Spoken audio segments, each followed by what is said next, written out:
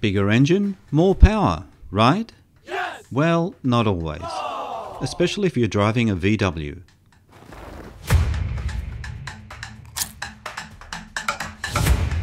Let's take a close look at the air-cooled engine evolution.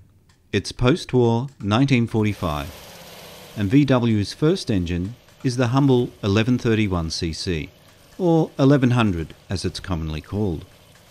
It had 25 horsepower, a modest start, but extremely dependable.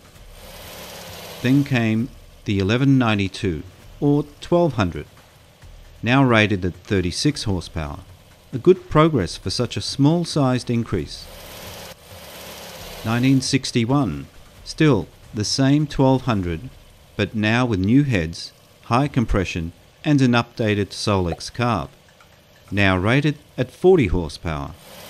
1966, the 1300 arrives, and a healthy bump to 50 horsepower.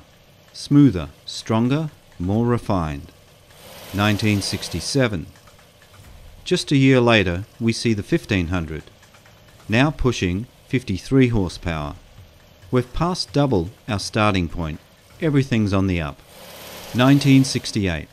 Enter the 1600 single port, rated at 60 horsepower, VW's biggest yet, and still climbing. It's 1971. This is it. The 1600 dual port lands, VW's best yet.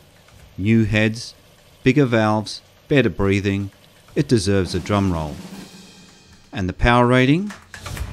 50. Wait, after all that, a drop? What's going on?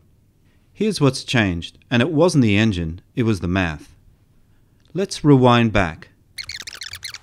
Before 1961, VW in Germany did their own horsepower testing using the European standard, which measured power with everything attached fan, generator, muffler, the lot.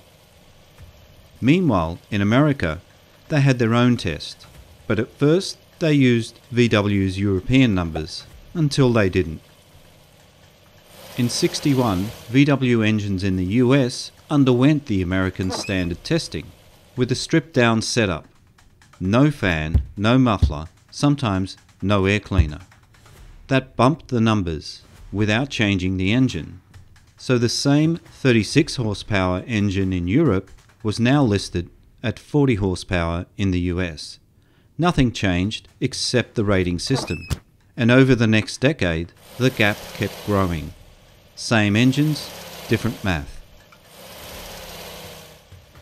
Then in 1971, under pressure from regulations and insurers, the US finally adopted SAE Net and tested engines the way they're actually used, with the fan, muffler, and air cleaner. And just like that, VW's most powerful engine, the 1600 dual port, dropped down to 50 horsepower on paper. Not because it got weaker, but because the truth finally caught up. But make no mistake, the 1600 dual port was a real upgrade. Still, there's one more mystery to solve. If the single port was rated at 47 horsepower and the dual port only bumped it to 50, that's just a 3 horsepower difference. That can't be right, can it? Let's explore that in the next nibble. Got a weird issue or a burning question you want us to cover? Drop it in the comments. And while you're there, let yourself subscribe